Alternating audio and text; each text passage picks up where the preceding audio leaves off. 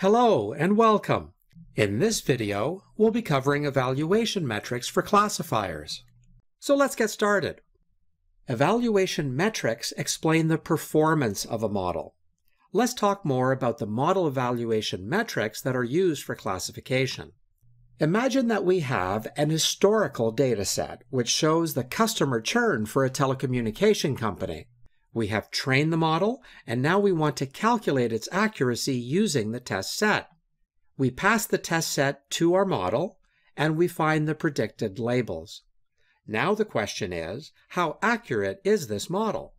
Basically, we compare the actual values in the test set with the values predicted by the model to calculate the accuracy of the model.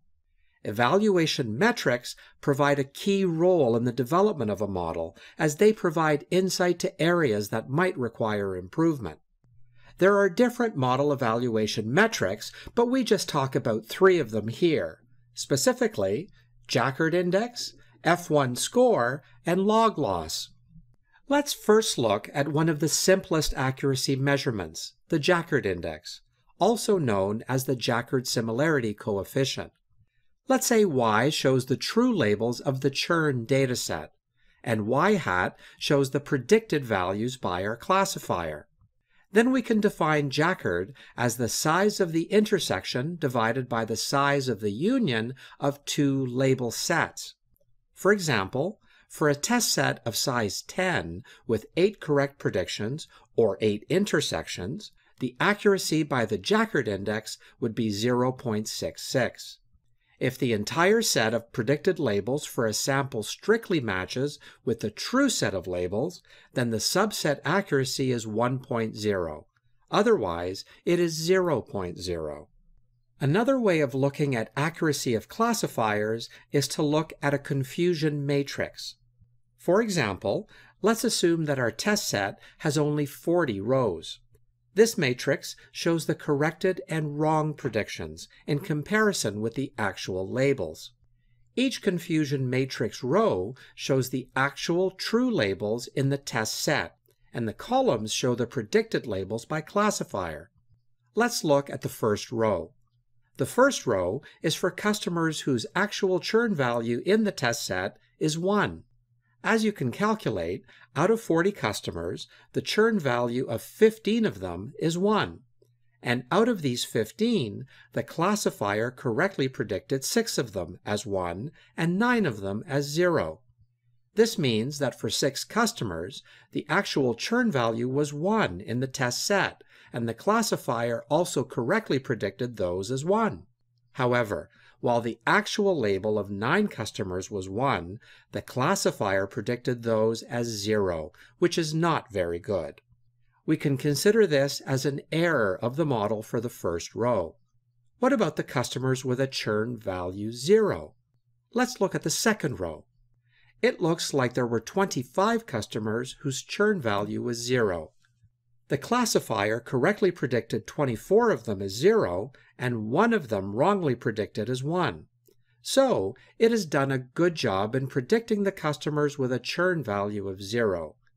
A good thing about the confusion matrix is that it shows the model's ability to correctly predict or separate the classes. In the specific case of a binary classifier, such as this example, we can interpret these numbers as the count of true positives, false positives, true negatives, and false negatives. Based on the count of each section, we can calculate the precision and recall of each label.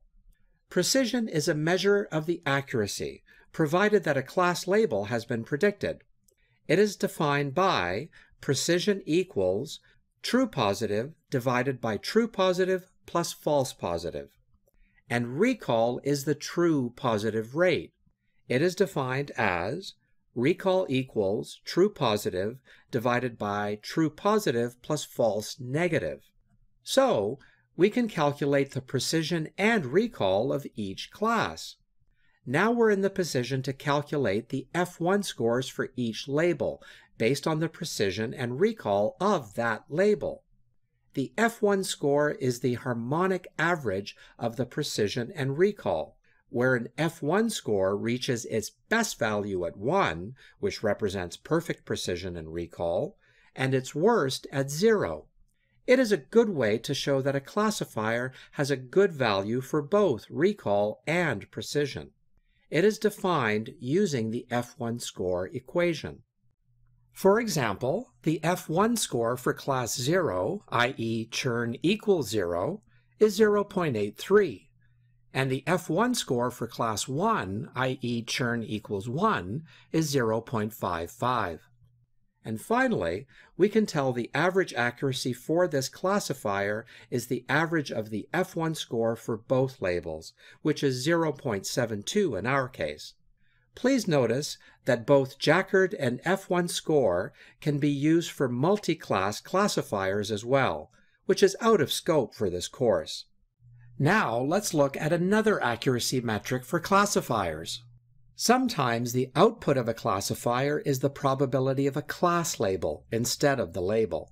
For example, in logistic regression, the output can be the probability of customer churn, i.e., yes, or equals to 1.